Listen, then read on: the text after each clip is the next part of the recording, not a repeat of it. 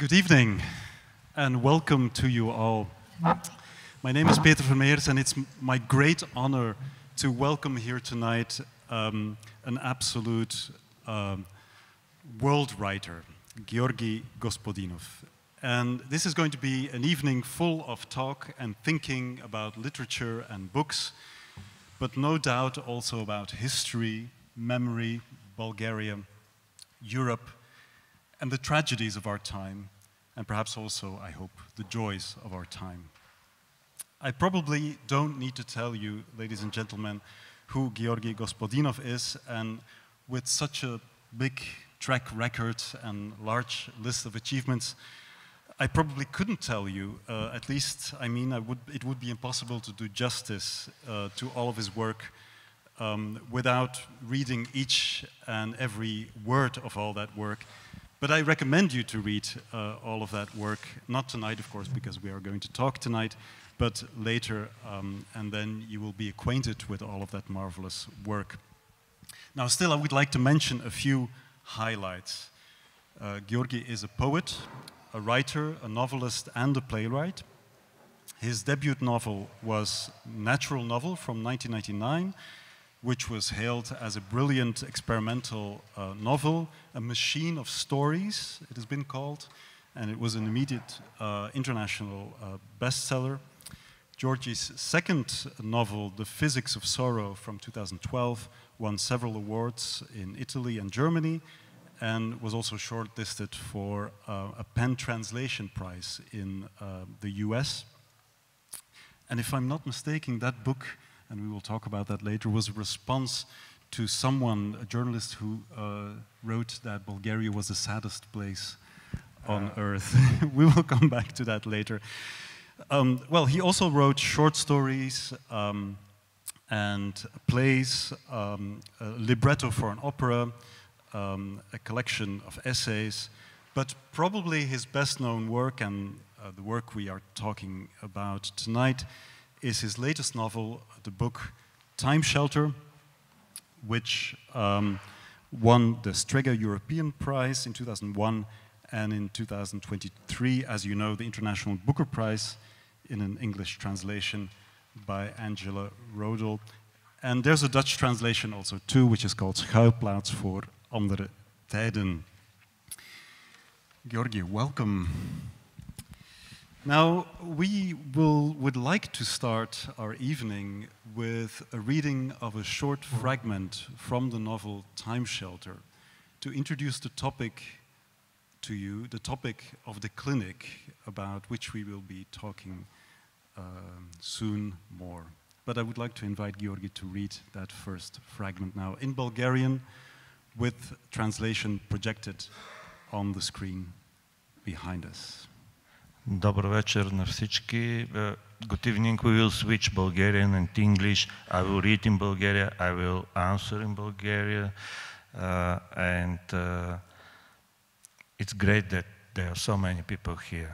It's always, yeah, very moving. I will read uh, part of the beginning of the novel, which explain a bit about clinics for the past. И така, с Галстин направихме първата клиника за минало. Всъщност направи я той. Аз бях само помощникът, събирачът на минало. Не беше лесно. Не можеш просто да кажеш на някого, ето, това е твоето минало от 1965-та. Трябва да знаеш историите му. А ако вече не можеш да ги получиш, трябва да ги съчиниш. Да знаеш всичко за тази година. Кои прически са били на мода, колко заострени са били носовете на обувките, как са миришили сапуните, пълен каталог на миризмите. Дъждовна ли е била пролетта, какви са били температурите през август, кое е било най-слушаното парче в класациите. Най-важните истории от годината, не просто новините, а слуховете, градските легенди. Нещата се осложняваха според това какво минало искаш да ти се достави. Дали твоето източно минало, ако си от източната част на стената, или напротив, ако си оттам, искаш да изживееш тъкмо онова минало, което ти е било отказано. Да приядеш чуждо минало, като с банани, които си сънувал цял живот. Миналото не е само това, което ти се е случило. понякога е онова, което само си съчинявал. Beautiful. So, Jorge, this book is about the past, you could say, about the real past or the imagined past. And it is also about how people are dealing with the past.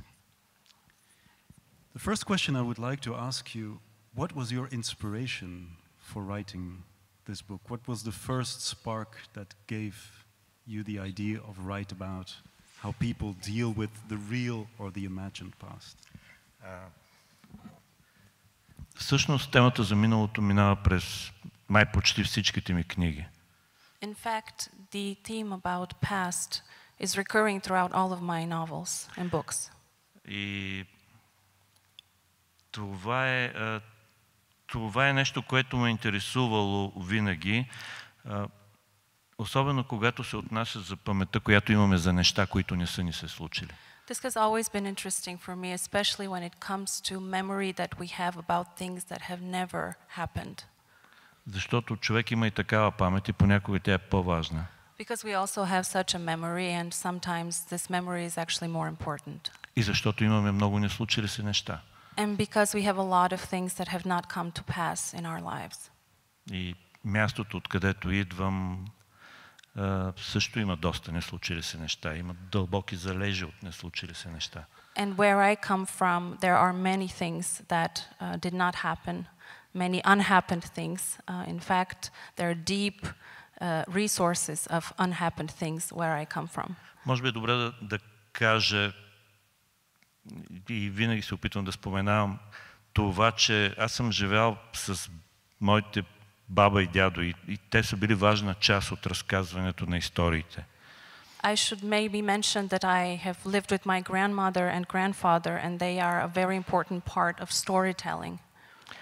А, те разказваха за миналото, така както магическите реалисти, а, както Маркес би написал роман.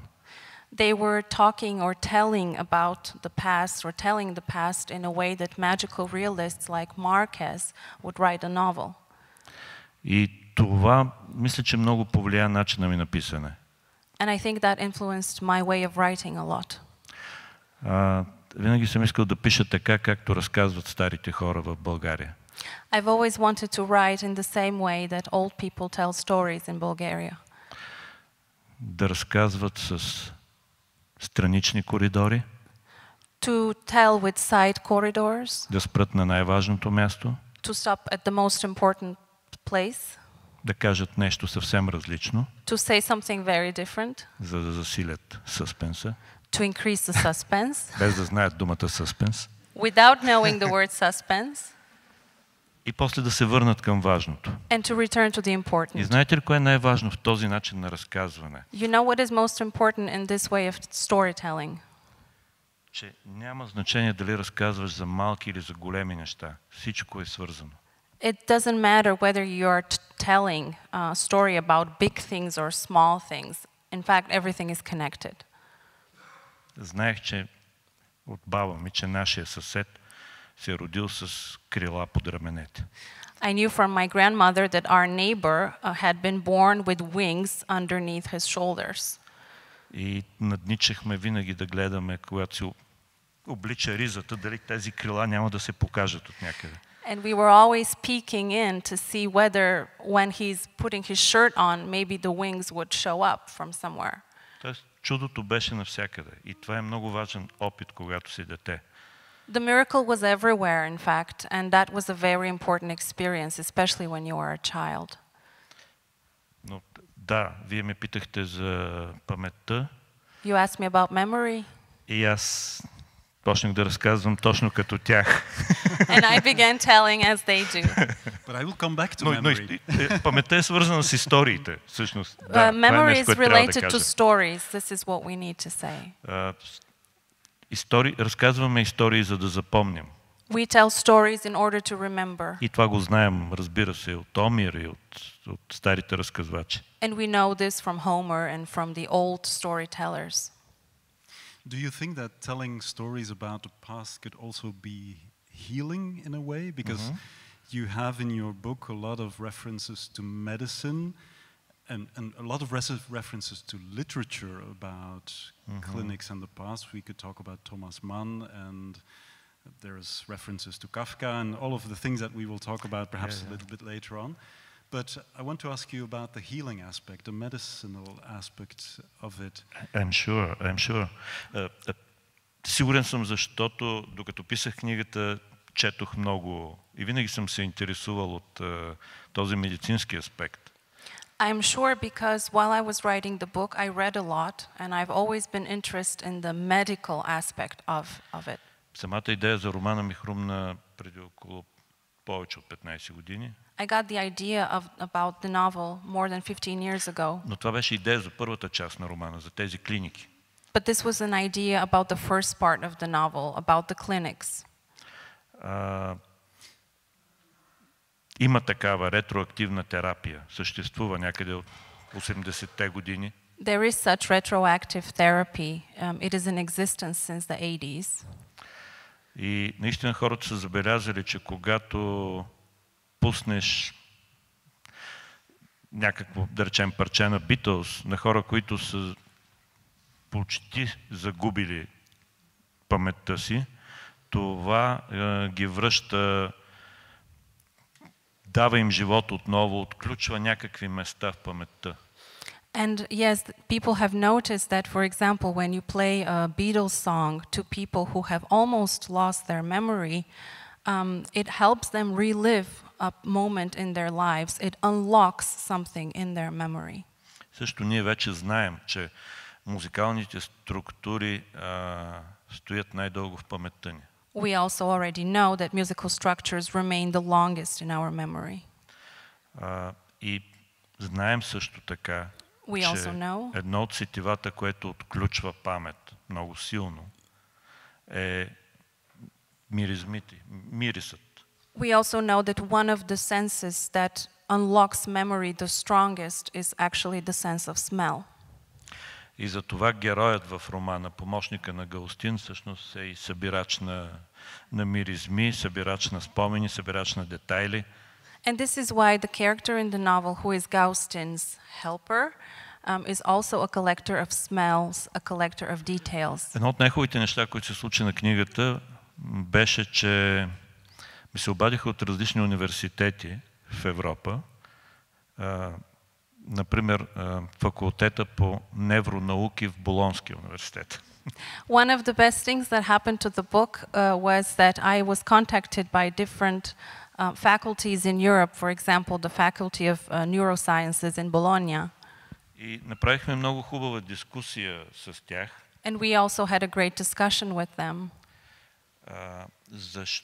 върху това какво отключва памет, как се съхранява памет, как паметта е част от това да се усещаме човешки същества. on what unlocks memory, what preserves memory, what makes memory the thing that makes us feel human. От моя страна, е, моя принос беше да, да казвам как самите истории отключват памет, наред с музиката, с миризмите. My contribution was to say that stories, along with uh, smells and music, also unlock memories. И най-хубавото е, че хората от различните науки вече се обръщат към литературата и търсят заедно решения на, на въпроси, свързани с човека. And the best thing is that people um, from other sciences are turning to literature and are looking for solutions there um, for humanity in general. Имах също така дискусия с теолози от един римски богословски университет и там говорихме за края на времето, за края на света, което също е тема от времето е тема и на богословието. Uh, I also had a discussion with uh, a theologists from, the, from, a, from a Roman university where we were discussing the end of time because this is a theological topic. And uh, when we talk about the end of the world, uh, usually we are thinking about the end of the space, about destroying of the world. But actually, the end of the world, the apocalypse, is the end of the time. But the end of the time means not, not the real end. It means that the past, present, and future will be present at the same minute, at the, in the same second. If Yeah. всъщност ак- апокалипсиса означава... Uh, няма. there's no need for me to I think translate. everybody knows. Everyone uh, knows English. Sorry. uh, okay. Very, Uh, very enthusiastic Uh, translator. And, and finally, uh, fin- finally, uh, uh, I, I should say something to praise myself. yes. you know, one of the best awards that I've received ever was for the physics of sorrow. Uh, so I was invited to be member of the Association of the Physicists Oh. in Bulgaria. Well, I can tell- Nobody knows this, but yeah, Yeah, this is. well, con- and- congratulations and, Yeah. and, and, we- and well No, deserved. no, I'm saying that because I'm saying this because I'm I'm on the side of literature, and I think that there are many people here on the side of literature, and uh, we should have some what to say, not dignity, but some да бъдем уверени, че We need to be confident. Yeah. We need to be confident. а, че литературата знае за някои неща от науката доста преди науката да стигне до тях. That literature knows about certain things that are related to science a lot before science actually reaches reaches them. Yes, and um, to facilitate a discussion between scientists and, and writers, I really um, uh, much uh, am, in, am in favor of this. And actually, I was looking a, a few things up about the clinic you have as an you know magical institution in your book because it's not that simple that it's just one clinic. It's sort of a um, it's more of a concept that dwells through the book, I would say. And in fact, there have been experiments in, at, in, at Harvard University. There's this famous counterclockwise study where they've put people in the 1950s um, and people who were from the 1950s but lost their recent memories. And then by being there, they felt, I, I literally hear a quote from this study, the magic of rejuvenation and ongoing good health uh, because of being aware of the fact that they were suddenly uh, in a time that they already knew from, from before. I want to switch the conversation a little bit now because that's the positive side of going to the past. but there's a but, of course, and you talk about this, about this in this book quite a bit too. There's the um, sickness, I would say, of nostalgia and somehow the political instrumentalization of nostalgia as well through manifestations, political reenactments, and all of that. So I'm wondering, was this book an attempt to show both sides of the coin? And why do you think that both sides are important when we are talking about our imagination of the past and going back to the past? Да. А, Предполагам, че тук всички знаят, че думата носталгия всъщност а, името носталгия идва от един а, ш- швейцарски лекар и това е диагноза, описание на болест през 17 век. I suppose all of you here know that uh, the word nostalgia it was actually invented by a Swiss doctor from the 17th century, and in fact, it describes a sickness. И е хубаво да имаме това на ум, когато, защото обикновено романтизираме носталгията, And it's a good thing to keep in mind because we tend to romanticize nostalgia. Аз също съм силно носталгичен човек и това си личи от книгите ми. I'm also very nostalgic, and you can tell by my books. И затова Времеобежище беше трудна книга за мен. And this is why Time Shelter was a difficult book for me. А, някъде след 2016 тръгна това усещане, че носталгията може да бъде опасна.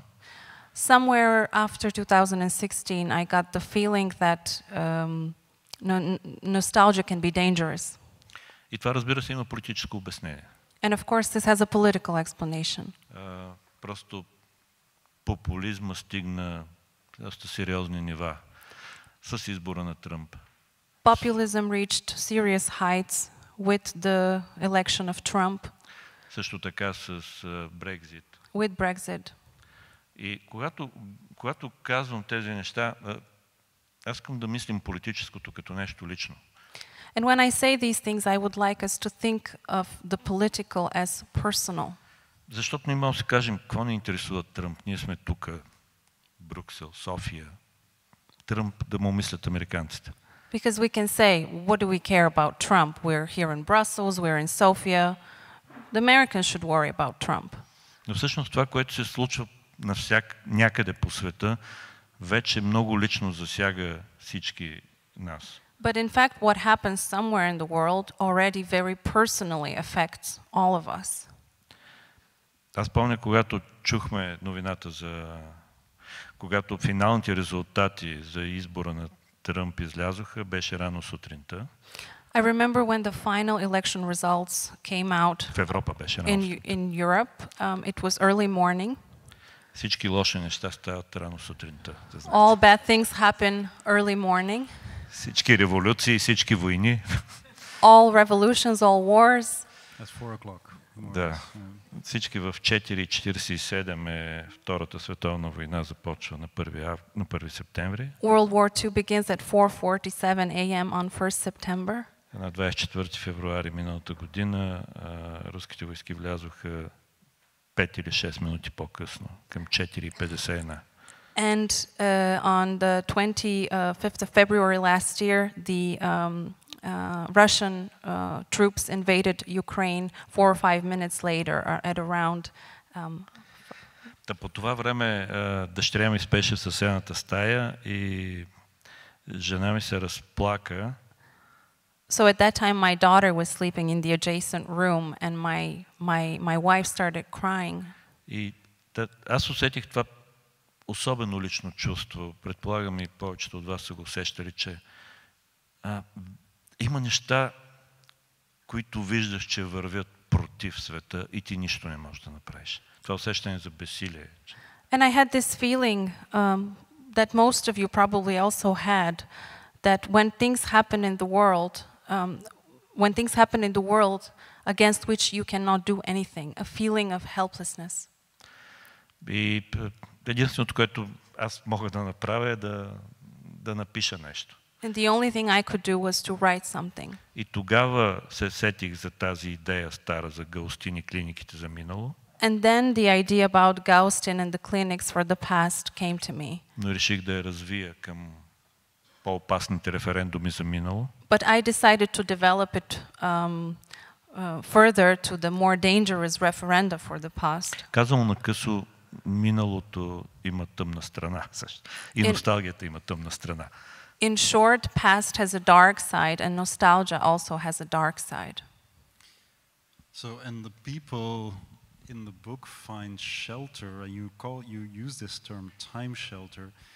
So it means that they are se- searching protection from something. Is it protection in the clinic from the time where they currently live in, searching for some s- fa- safe space That's in why, the imagined past, Yeah. or how should we understand this title? both.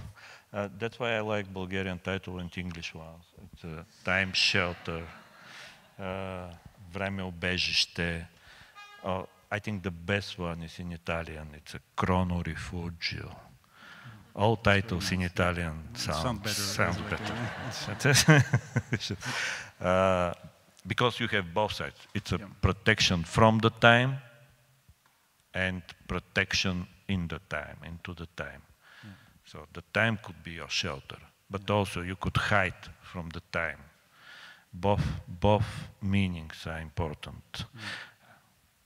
So let's let's talk a little bit, if you want, about the impulse that people have to go back into time and to remember times.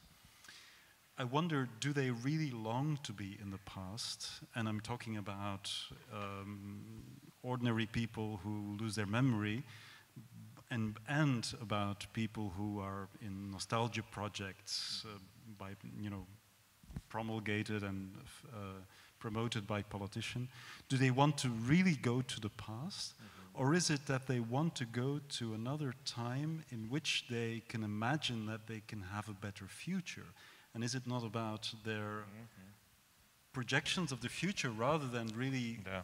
going back in the past Да, абсолютно, да, много хубав въпрос. Very good question. А, всъщност,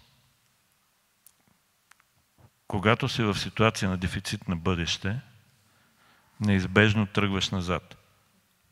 When you're in a situation of a deficit of future, you inevitably go backward. Та, двете неща са свързани. The two things are connected. И едното обяснение на Галстин в романа е, че ние действително се връщаме назад, за да имаме това бъдеще, което сме преживели напред. And indeed, one of the explanations of Gaustine is that we, we, we go backward, we return to the past in order to have the future ahead of us that we have already lived. Защото, а, вижте кое е особеното с бъдещето. Всъщност, никой от нас no one, sorry. не живее в бъдещето. Uh, the, the, the, и няма да живее в бъдещето. The peculiar thing about the future is that none of us are going to live in the future. А, ние живеем сега, We live now. а, но самото усещане, че имаш хоризонт е страшно важно. But the idea that you have a horizon ahead of you is extremely important.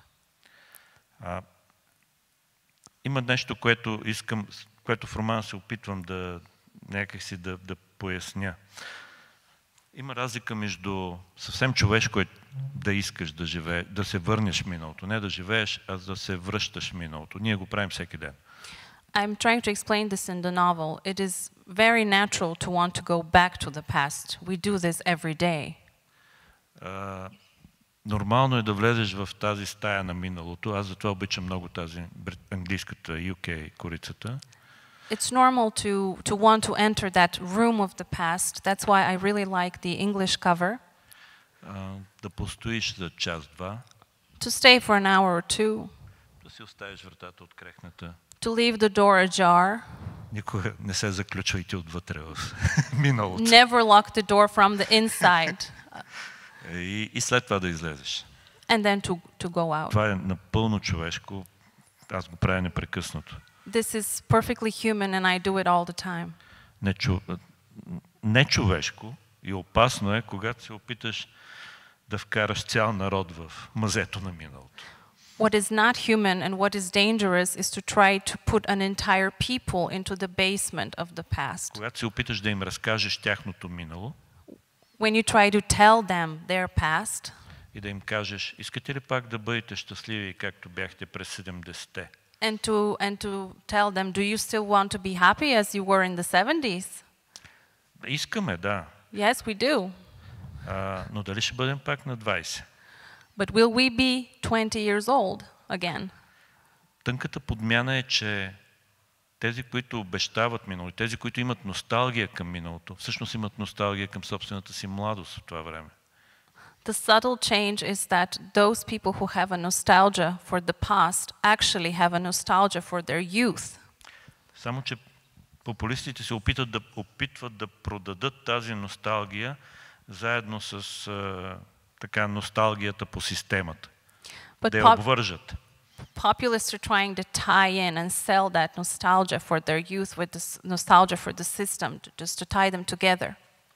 Едно време е, в България, ако се спомняте, като исках, като продаваха книги, които много се търсят и са дефицитни, обикновено ти предлагаха и още една, която никой не търсеше.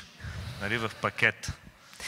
If you remember, um, i- back in the day in Bulgaria, um, when they were selling books that were in deficit, that they were really high, highly sought out, sought after, they would also try to sell you, along with the very highly sought after book, one that no one wanted.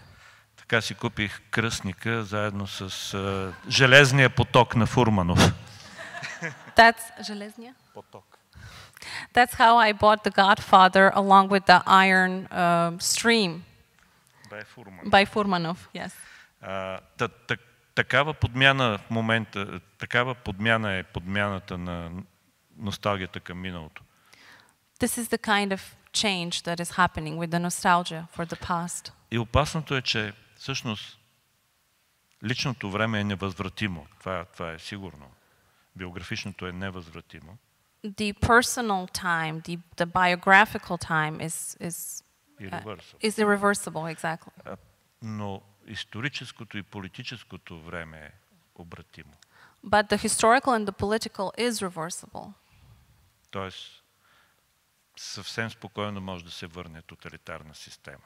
In other words, it can very easily return. A totalitarian system can very easily return. Yeah. And maybe we could say that the past, the personal pasts of people have been hijacked by populists to promote their own political project sometimes. Yeah. Yeah. Reading this book, how important is it to know that this book is written from, let's say, Eastern Europe? Uh, because there's a lot of um, play, I would say, with nostalgia for the socialist past. There's also, you know, a lot of criticism of that nostalgia, that nostalgia for the, for the for the eastern part of the divided Europe at the day. So, um, do you also want to say something in this book about Eastern Europe, or is how should I how should we understand this uh, dimension in, in, in, in the writing?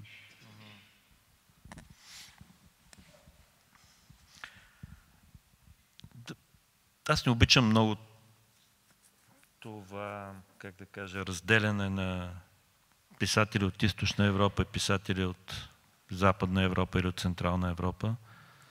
I don't very much like this division of writers between uh, writers of Eastern Europe, Western Europe, and Central Europe. Но има нещо, което трябва да кажем, което все пак дефинира източноевропейското писане. But there is something we should say that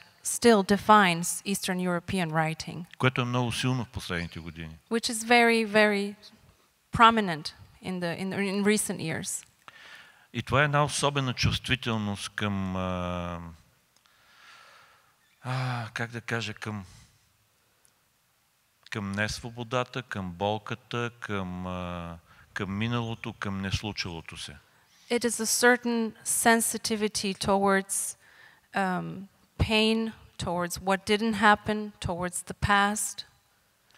А, това, което се случва в момента в, в Украина е някакси много, според мен, близко и разбираемо за нас, които сме живели в тази орбита известно време. What is happening currently in Ukraine is we can relate to that because we have lived in the, in the orbit of that for a certain amount of time.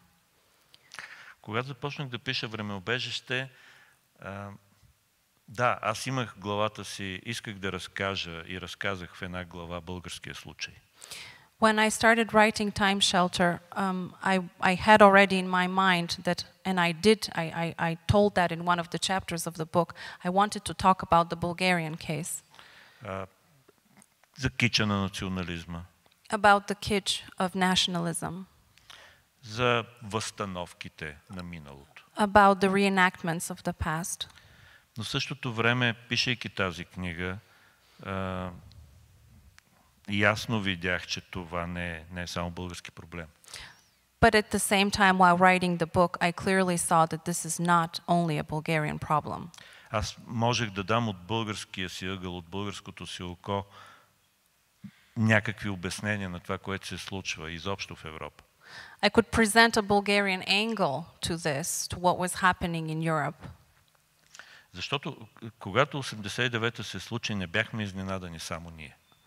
Because when 1989 Когато падна стената. happened, when the wall fell, we were not the only ones who were surprised. Ние не очаквахме, това е сигурно. It is certain that we were not expecting that. Може да го кажем и по-рязко. На нас ни съобщиха по телевизията в 5 вечерта, че We- сме свободни. We can even say it in starker terms. We can say that we were informed on television at 5 p.m. that we were free. Но, но Запада също беше изненадан. But the, the, the West was also surprised. А, и тогава някъде, оттам нататък, наистина а, н- ние заедно, заедно започнахме, как да кажа, да се учим в незнанието си за това какво предстои. And from then on, we together collectively began to um, learn uh, with each other about the ignorance of what was to come, our collective ignorance of what was to come. Така че през тези години просто трябваше да споделяме опита си. Ние, нашия от живеещи на изток и този от западния опит за това как да живеем сега заедно. какво да правим? So we just had to share our experience of the East with the people who are living in the West, to share their experience to see how we can live together, what we can do now.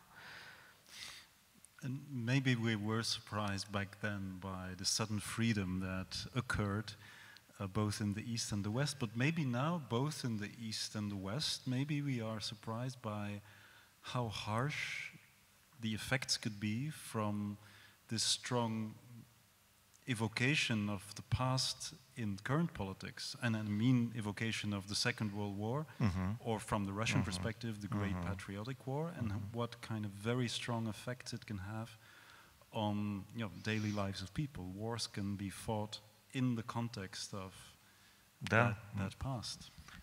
да, за мен това, което се случва в момента е война за минало. Войните не са само за територия, войните са и за минало. Yes, for me, what is happening currently is a war for the past. Wars are not just for territory, they are also for the past. Като започнем дори от най-дребните неща, от това, което казахме, че тази война се случи с, по начин, по който тръгна Втората световна война, включително със същото конвенционално оръжие, с танковете, които са малко по-подобрена версия. Even when we say, when we start from the smallest thing, like the fact that this war became, began with tanks, the the, the a conventional weapon that А, някой беше изчислил, че само за а, един месец, първия месец от тази война са изстреляни толкова броя снаряди, артилерийски, колкото в цялата Втора световна война. someone had calculated that just in the first month of the war there had been so many um, uh, Снаряди, shells. shells fired uh, equal equal to the duration of to the to the amount of shells fired in the duration of the of the of the Second World И War. изобщо сравненията с Втората световна война непрекъснато а, са пред очите ни. And the comparisons with, with World War II are constantly before our eyes. Още, това, което в момента вътре в Русия се случва, за което знаем твърде малко, също напомня много на времената от преди. What is currently happening in Russia, for which we know very little, is also very reminiscent of past times, Неща, които ние познаваме. things that we know. Невъзможността да пътуваш навън. The impossibility to travel outside of your country, Да живееш без Икеа, да речем. to live without IKEA, for example. А, да, това са малки неща, но в всекидневния живот човек свиква с тях. Yes, these are small things, but in, in everyday life you get used to them. Дефицит на разни стоки и така нататък и така нататък. Всъщност виждате как постепенно обществото ще се върне към, към времето на късния социализъм. Deficit of certain goods and so on and so on, and then you see how society gradually returns to the time of late socialism. Аз мисля, че един от проблемите е, е отново свързан с паметта. I think that one of the problems is again connected to memory. От една страна, защото се отиват вече хората и се отидоха много от хората, които помняха Втората световна война. On one hand, because a lot of the people who remember World War II have already passed or are currently Тоест ние passing нямаме away, вече тази жива памет. we don't have this quote live memory anymore. И друго много важно, а, че и победителите, и победените след Втората световна война трябваше да минат през много сериозна рефлексия. А те не минаха. And another very important thing is that both the victors and the vanquished had to go through a very serious reflection um, after World War II, but they didn't. Защото ние говорихме доста за немците след Втората световна война. Те си минаха през ада. Because we, we, we talked a lot about Germans, about the Germans uh, after World War II. They went through their hell, А победителите не ги съдят, както знаем. and uh, victors are not being judged, as we know. И това беше проблем. Всъщност в, в историята на Съветския съюз не се изработи тази пречистваща памет. In the hi- history of the, of the Soviet Union, this um, cleansing memory was not, was not created. Защото ние сега знаем, че са се вършили ужасни неща и от двете страни. Because we know now that horrible things were being done by both sides. Но, дъл, но дълго време това беше абсолютно несъществуваща тема. But for a long time, this was a non existent topic, a taboo.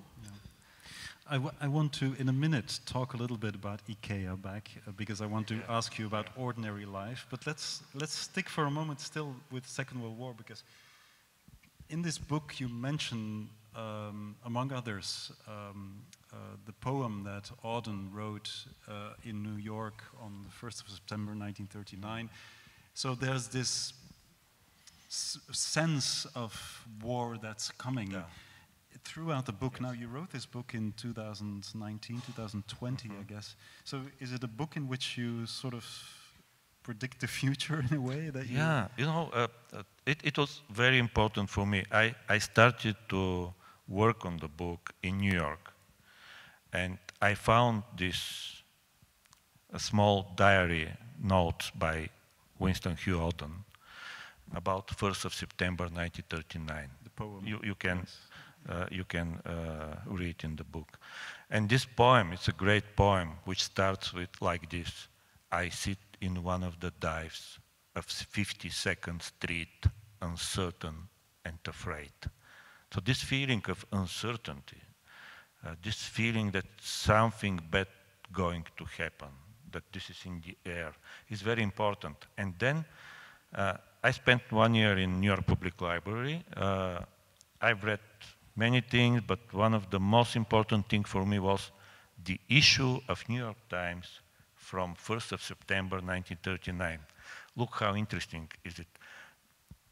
You, can, you have first pages of the newspaper with the main news, Germany invaded Poland.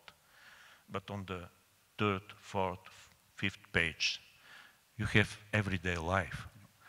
Uh, you have in Low Manhattan, they opened a new bar, Cinzano. Oh, you can buy very cheap, uh, you can buy summer discount of uh, something. Uh, and for me, it, it was very interesting. There is a minute, there is a second where everyday life became history and turned into history.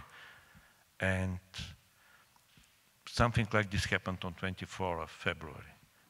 But we should just imagine this. We should imagine how, uh, one normal Ukrainian family, they woke up early in the morning, so the kids have some bread and some, uh, I don't know, Jam. confiture, jam, uh, something like this, and they eat, and then they announce that the war starts in this moment. So you, you are in between the jam and the war, in between the everyday life, the breakfast, and the history. Yeah.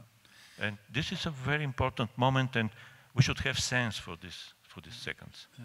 And th- this brings me back to my comment about IKEA, because uh, not about the store itself, but about indeed the concerns of everyday life and the buying and the selling and the organizing of, of your ordinary life. It seems like this fits very well with your style of writing in a sense, because it is about this big history, but at the same time you zoom in on something quite small and everyday and normal conversations and so I think in a way it must be important for you to bring these two together, the bigger history, but also saving, Yeah, in a way, the, the smaller stories. Absolutely. Uh, both sides are important. Actually, uh, if you ask me what I will choose, biography or history, I'm on the side of personal story, on the side of biography. I think that we can explain uh, the, the brutal systems or totalitarian systems of the war if you explain what happened uh, with the people. Uh, if you want, if you ask me to tell about, okay, I have experience for living in the last decades of socialist Bulgaria, uh, I will not, I don't have a memory about all these plenums. Is it the same word? Plenum? Assembly? Assemblies. Politburo. if you ask me to name one by one the names of the Politburo. Maybe I, I will know two or three of them. Uh, no, it's not a real memory. Actually, the real memory is what happened inside us. I remember how my father uh, locked, uh, was locked into the kitchen, uh, listening some from our VEF or Selena. First we have VEF, after that Selena, because you can find uh, Free Europe station, station Free Europe or Deutsche Welle. Uh, and I remember clearly how uh, I was afraid for my father because I knew that it was illegally. And also, they were afraid for me. My father was afraid for me and told me, tell to anyone that, yeah, what happened here. So this is the real explanation of the, the, the communism, or one of them. Uh, not just to, to talk about the, I don't know, statistics and so on and so on, and how expensive, also how wasn't expensive. And also the story, it's a very important topic for my books and for myself, to talk about these small and happen things, as I said, to talk about the abandoned world. We were not allowed to travel abroad. You could say, okay, it's not a big problem, right? You're not allowed to travel abroad. No, it's there is a very, very uh, famous sentence by Montaigne. He said, I never wanted to travel to India, but, but if someone forbade, forbade me, me, forbade me, forbade me to travel to India, I will be unhappiest person in the world. Uh, and th this is something that we could talk about. We could talk about the, yeah, the dreaming of the world. We could talk about also even about some stupid things like that we had oranges on the New Year. Okay, it's not a big problem. You have apples. You can eat apples, plums, other things. Why oranges? Why bananas? Because I'm, I'm a child. Because I want to try. Because they're tasty. Yeah. And because I can stay on the order, on the queue uh, in the shop, uh, pretending that I'm not with my mother, because they give one kilo per family or two kilos, and we could buy four kilos. But of course, it's, it's a part of, I'm lying. I, I know that, yeah, it's, it's not legal, it's not okay. so maybe these kinds of stories is like the stories you heard from your grandmother in a certain way, that they are um, more real in a way than the bigger stories that children are taught in school about the heroes of the war and, and so on and so forth. Абсолютно, да, защото всички идеологията живее от абстракции. Тя се храни от абстракции. Това е нейната вампирска природа. Ideology feeds off or feeds on abstractions. That is its vampire nature. А, идеологиите се провалят там, където се опира до човека. Ideologies fail there where it's about the human being. Те не знаят какво да правят с вътрешния свят на човека, с какво да правиш с човека след 5 вечерта, след 5 след обед. Ideologies don't know what to do with the internal life of a human being, what to do with that human being after 5 p.m. Не, няма манифестации, няма партийни събрания. Какво правим с този човек? There are no manifestations, no, no par parliamentary, uh, uh, party uh, assemblies, what are we debates. supposed to do with, with that person?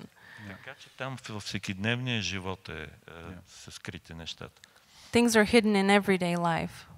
Yeah. And as a writer, you feel the impulse and the urge and the task to save that ordinary life from the abstractions. Yes, absolutely.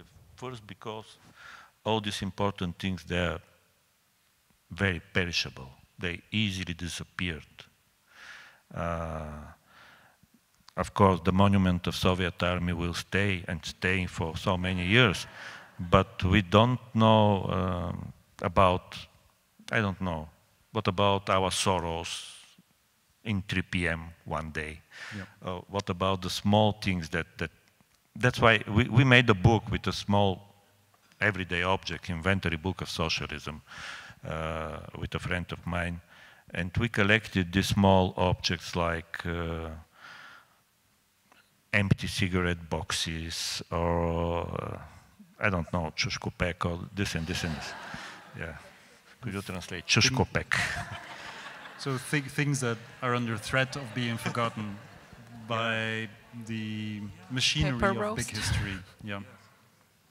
So let, us This is probably a nice, a nice link to, to, again to your style of writing because in the beginning I mentioned Thomas Mann and uh, and I know your your, your um, fascination with Borges and with uh, Marquez and so. But at the same time, uh, th there's some sort of magical realism perhaps in your book that that is a reflection of reality, uh, the small reality of the world but it's not a big epic story. Uh, the, the style of writing seems to be more moving like a thought process uh, rather than sort of an epic telling of a story in, from one event to another And so I, I, was wondering if you could comment a little bit on your style of writing and, and the way the, the story moves in a quite a peculiar, peculiar way, I think, and, or an original way. Първо аз обичам моите книги да са като разговор с, с читателя. First, I like my books to be as a conversation with the reader. А, да не са нещо изкуствено и, как да кажа, много здраво построено. To not be artificial and, how to say, very solidly built.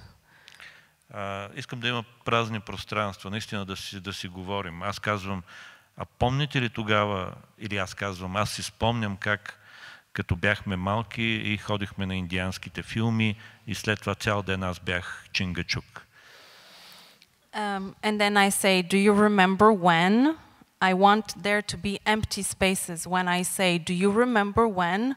I was a, a little kid and I was and when when I was a little kid and we were gonna we were going to see the films about Indians and then after after seeing the film I was Chingachuk uh, for for the entire day. Също uh, ми се иска в моите романи да как да кажа да, да да има места, където спокойно можеш да спреш uh, основната линия и да си кажеш, дайте сега да помислим заедно върху това. Защо наистина старостта е по-голямата трагедия от смъртта? I would like there in my books to be places where you can stop the main plot line and just think with, with the reader. Okay, let's think together. Why is aging actually the bigger tragedy, bigger than death?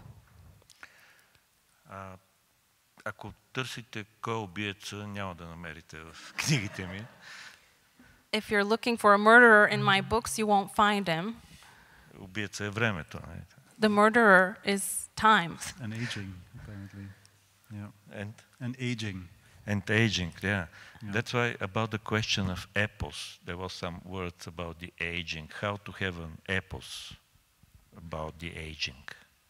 It's not heroic. It's not heroic. And, but that's why I want to talk about this.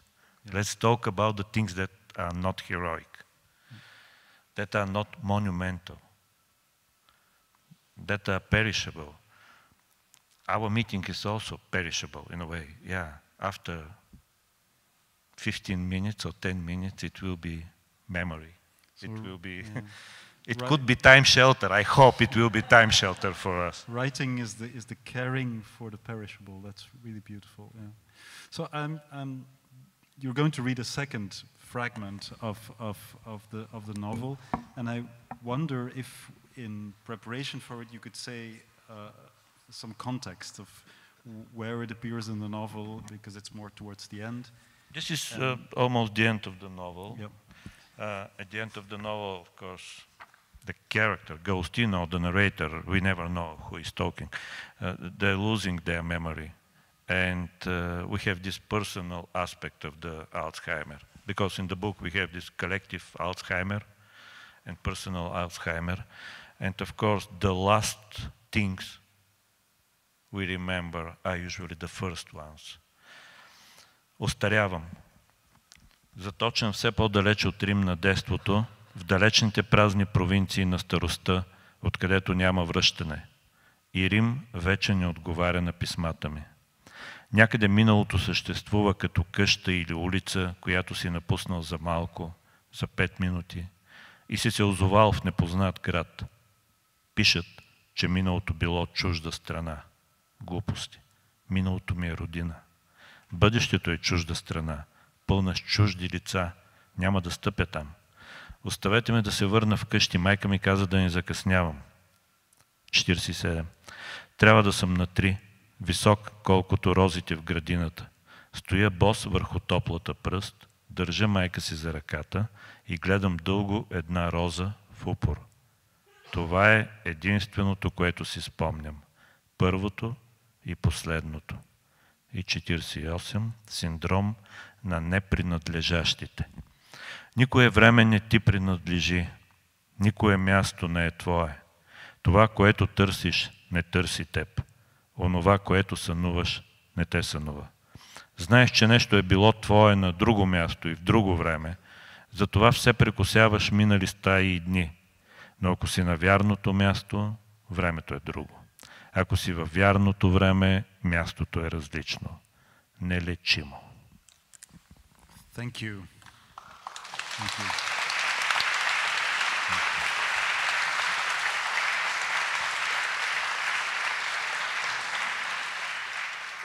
So I'd like to open the discussion to the room now. So if any one of you has a question, we can take a couple of questions for Only simple questions. Yes. Yes, simple question. And we do have a microphone that can go around. And you can ask your question, of course, also in Bulgarian, if that's uh, a preference. Or in any other language that we understand. Um, why do you think that this was your most successful book? It, it, won so many prizes. You know, the Booker was a huge pride, proud, made us all proud in Bulgaria. Is this the book that you love the most? Is this your most political book? What caught, I would say, Western Europe's attention, if you want? I hope they could found my previous books as well. The Physics of Sorrow, Natural Novel, but all my poetry. Nothing wrong with the previous ones. Hmm? Nothing wrong with the previous ones.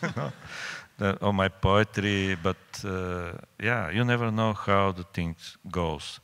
Actually, uh, it's not the first award for my book, I, I must admit. Natural novel was translated really on a 25 languages. Uh, the Physics of Sorrow received some important uh, awards. The Booker Prize is given only for books that are published in UK. It's a terrible thing. Yeah, actually, yeah. Why? Because all my books in English, all my previous books that I love, also, uh, they are published in US. So they were not eligible for this award. I hope that now, now my, the Physics of Sorrow will be published uh, in UK. So I hope that it, it could be also long listed, at least long listed for Booker Prize. But why, why they choose this, this book? You know, uh, after ceremony of Booker Prize, before that we know we knew nothing about who, who will be who will uh, be announced as a winner and so on. But after that we had talk with the jury and uh, jury said very good words. I think they appreciated the literature in the book. They have their motivation. It's not good for me to, to tell why they chose this book. They had their motivation and one of the things was the literature quality of the, the book. Another thing was that the book is very anti, mm, what to say, connected with what happened now. You know that the book was published in, or maybe in Bulgaria too. Е, Книгата беше публикувана 2019 2020 година в България. The book was published in 2020 in Bulgaria. А, така че тя по никакъв начин не знаеше какво ще се случи с пандемията или с войната после. So we didn't know in any way what would happen with the pandemic or with the war later on. П- Първият ден, в който беше публикувана, затвориха всички книжарници. The first day, uh, the day on the public, the day of the publication of the book was the day when all bookstores closed. Така че тя излезе в най-лошото възможно време за една книга, So this book came out in the worst possible time for a book to но appear, в същото време в най-доброто за нея време. but at the same time in the best time for the book itself. Защото това е дистопична книга, дистопия, Because this is a dystopian book и тя излезе в дистопично време. and it came out in a dystopian time. Това беше нейното време. That was its time. И тези неща много трудно да се изчислят.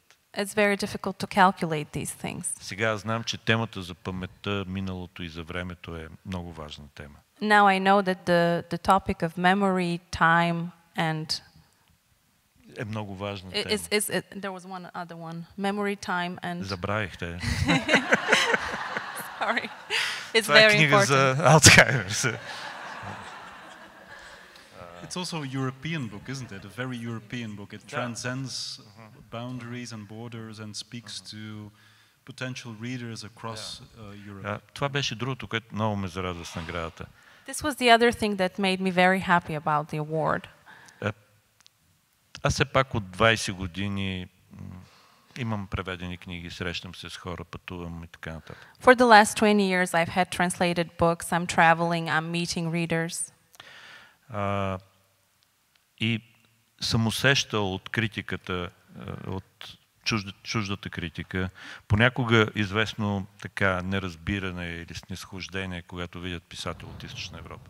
And I have felt from uh, foreign critics uh, a certain sense of misunderstanding or a certain sense of, of, of condescending attitude to writers coming from Eastern Europe. Има такъв стереотип. а, There is such a stereotype.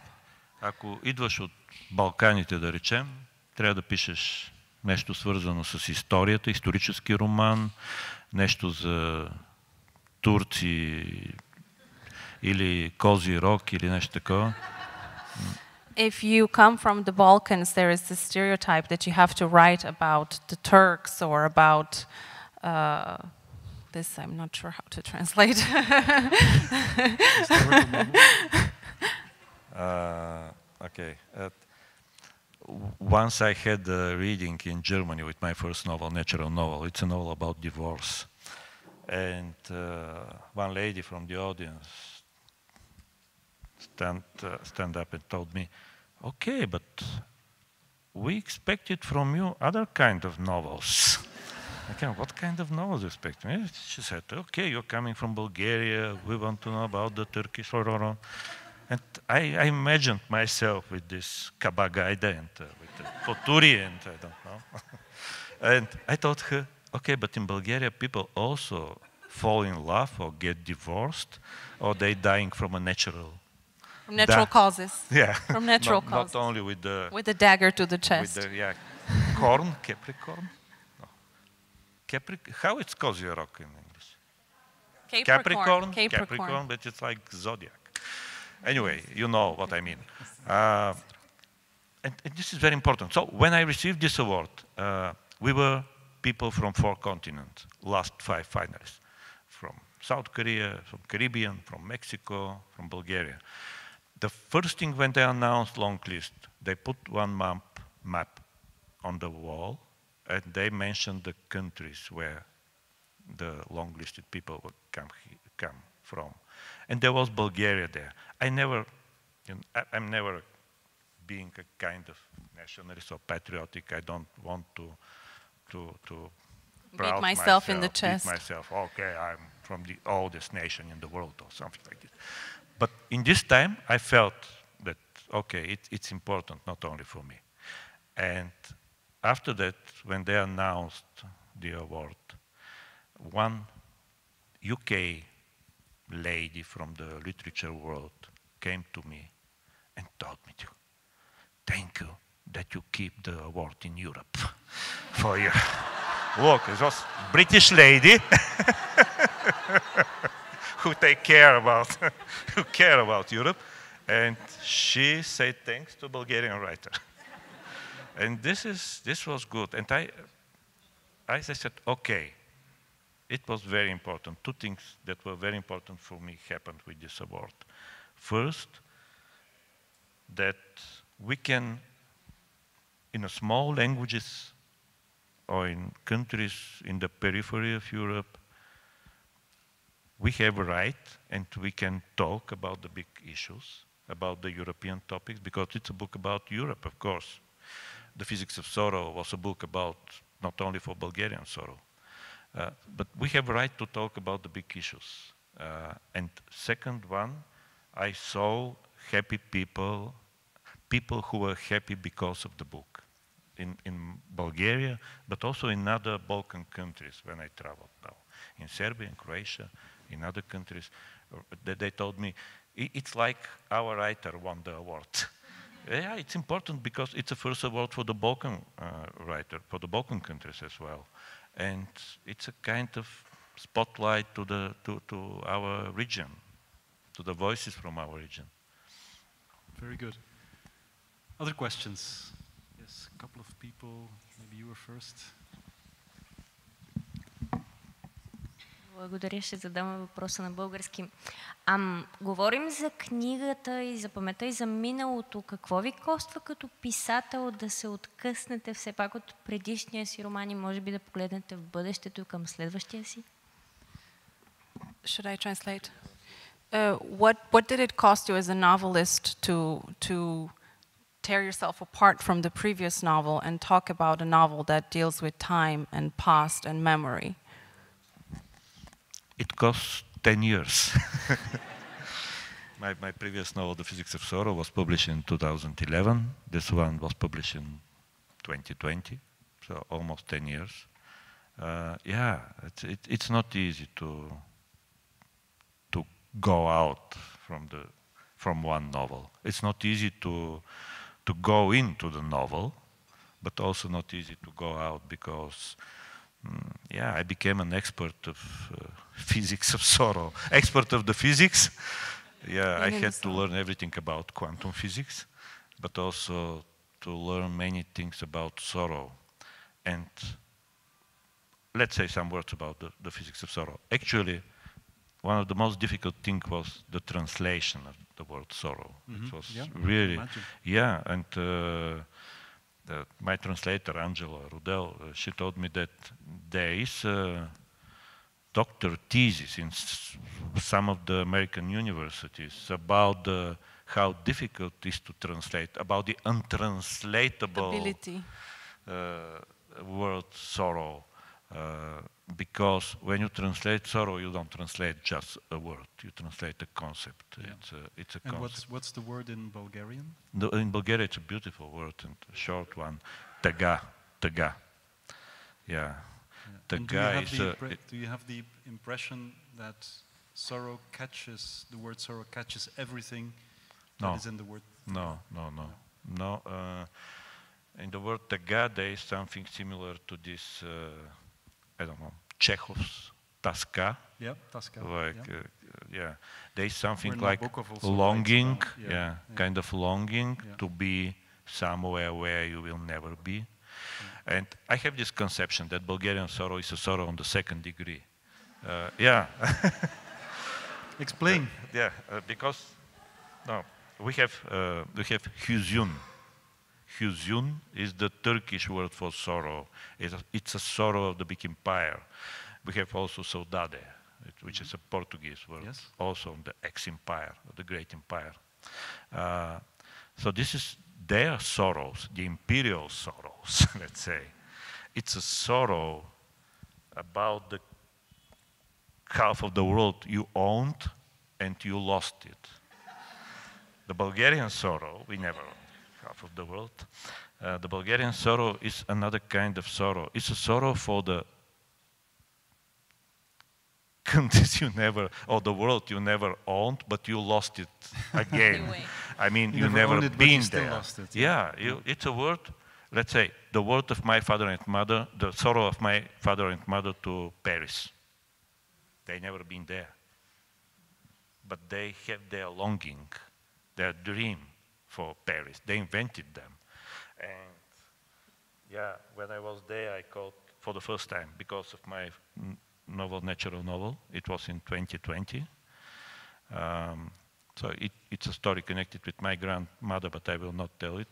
Uh, but I called to, to my father from Champs-Élysées and I said, yeah, Papa, I'm here on Champs-Élysées.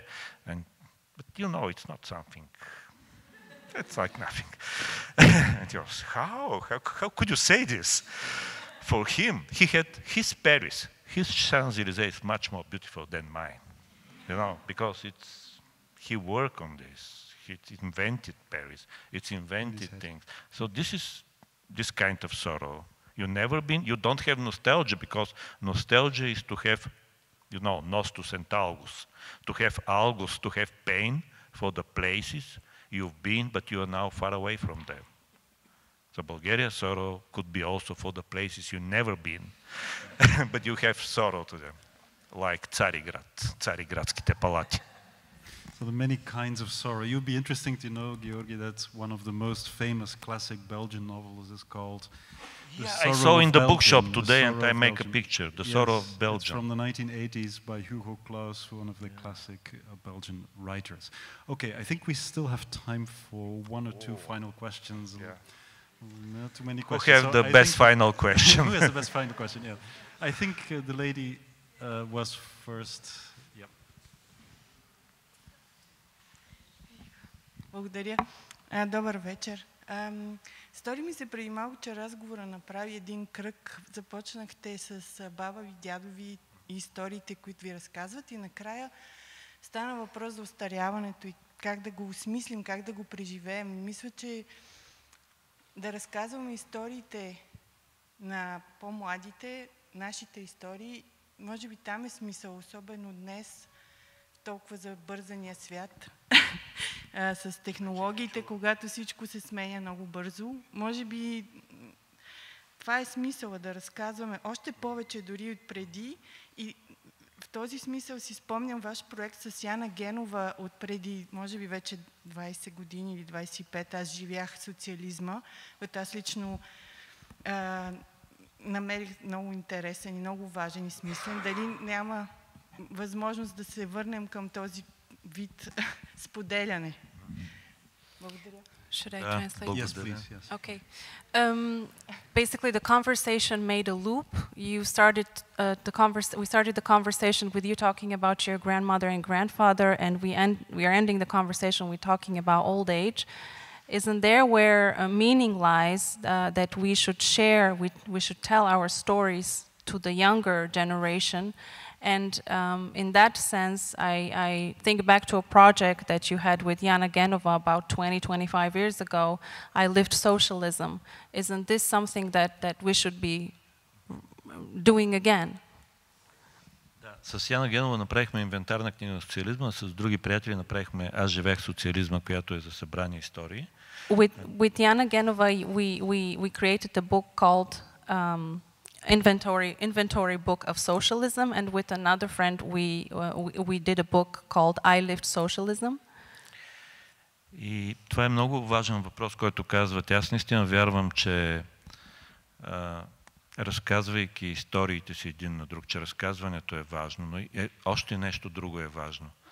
And you have a very good question, and I do believe that it is very important to tell our stories, but there is also something else which is important Да слушаме историите на другите. to listen to other people's Да, stories. да имаме ухо за историите на другите. Да, да имаме нещо, което може да наречем story hearing, not only storytelling. To have an ear for other people's stories, to have a story hearing. Защото а, ясно, един от основните проблеми е, че ние не си говорим в последните години.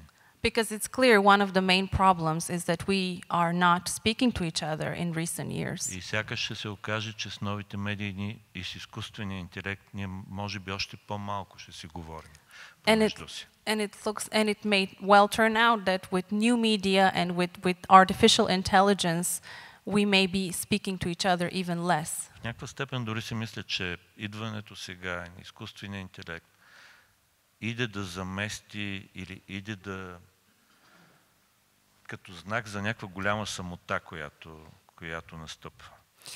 In a way, the advent of AI, artificial intelligence now, is is coming to replace something. It's coming to signal a great solitude that is upon us. Ще оказва се, че понякога е по-лесно да си говориш с, с тази машина, с програма, отколкото с друг човек. It turns out that sometimes it's easier to talk to a program, to a machine, than to talk to a human being. И, и това ще бъде проблем. Ние трябва да мислим върху това. And this will be a problem, and we need to think about this. И трябва да разказваме историите си на децата си. And we need to tell our stories to our children. Ще завърша с една история, която се случи по време на опашката за автографии в София I will, след наградата. I will finish with a story that um, happened, or I, you heard, no, that happened, that happened while uh, the, the line, the huge line of, of readers who wanted an autograph after the Booker Prize in Sofia was ongoing. Имаше много момичета и момчета, млади хора, ученици, 15, 16, 17 годишни, There were many young people, adolescents, 15, 16, 17 years old, които купуваха книгата, за да я подарят на родителите си. who were buying the book in order to give it to their parents as a gift. Но също така имаше много родители, които купуваха книгата, за But- да я подарят на децата си. But there were also many parents who were buying the book to give it as a gift to their kids. Много от техните деца не бяха в България, не са в България, понеже аз си говоря с хората и е, да, разпитвам. And many of their children are not in Bulgaria because I talk to my readers and I ask them, and they tell me that their kids are not in, in Bulgaria. Но имаше и няколко семейства с много малки деца, година-две. But there were also a few families with very small children, one, two years old. И те искаха да напиша книгата за тези деца. And they wanted me to sign the book for these children.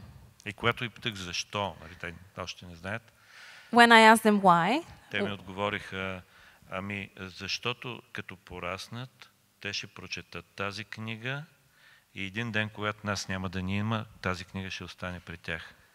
because when they grow old, they will read the book. When they grow up, they will read the book. And one day, when we will not be here, the book will be, they will be here and the book will be with them. Това е, е, за да свърша с нещо хубаво за нас, защото ние се се оплакваме. I would like to finish on a, on a, on a positive note because we are always complaining. Този тип истории за деца и родители, които си подаряват взаимно книгата, This type of story about children and parents who are gifting a book to each other. и тази чиста радост, която видях е, обикновени хора, не литератори, е, след наградата, And this pure joy that I saw in, in ordinary people, not literary people, е, е нещо, което е страшно хубаво и важно, което се случва. is something greatly important and, and, and very good that is happening. И това трябва да развиваме. This is what we need to develop. Това е само за българската публика. Only for, only for the Bulgarian audience.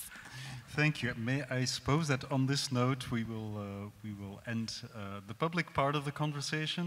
Obviously, there will be an opportunity to interact with Georgi. There will be selling and signing of books afterwards. There's only one thing to do now for me, and that's to thank you for the opportunity that you gave us to do some story hearing. Um, we enjoyed it very much, and um, thank you all for being here.